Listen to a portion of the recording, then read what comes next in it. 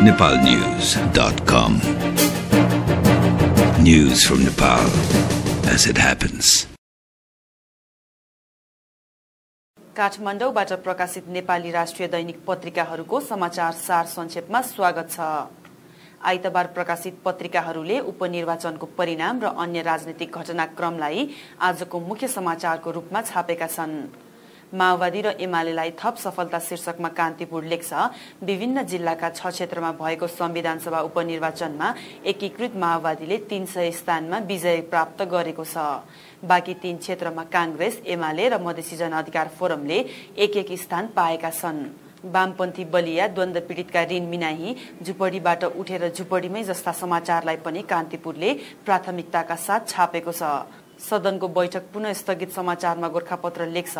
सहमति खोज्न साठी भन्दा बढी समय बाँकी राखेर स्थगित गरिएको व्यवस्थापिका संसदको बैठक शनिबार त सुरु नै नगरी सूचनाद्वारा अर्को दुई दिनका लागि स्थगित गरिएको छ। चैत्र सोह्र गतेदेखि प्रारम्भ भएको व्यवस्थापिका संसदको पाँचौं अधिवेशन नियमित कार्यसूचीमा प्रवेश गर्नै नसकेर स्थगित हुँदै आएको छ। सोही पत्रिकाले माओवादीलाई तीन एमाले काङ्ग्रेस र फोरमलाई एक एक संविधान सभाका नयाँ सहयात्री अन्तिम क्रान्ति आवश्यक चिठी पत्रद्वारा चलानी गर्न शिक्षकहरू व्यस्त विषयक समाचारलाई पनि प्राथमिकताका साथ छापेको छ। पुनर्निर्माणका पाँच सय परियोजना अधुरै समाचारमा अन्नपूर्ण पोस्ट लेख्छ।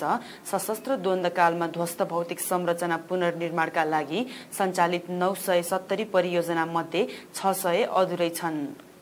एक वर्षको अवधिमा तीन सय बहत्तरवटा परियोजना पूरा भएका छन्। संविधान सभामा छ नयाँ अनुहार शीर्षकलाई पनि सोही पत्रिकाले आजको मुख्य समाचारको रूपमा छापेको छ।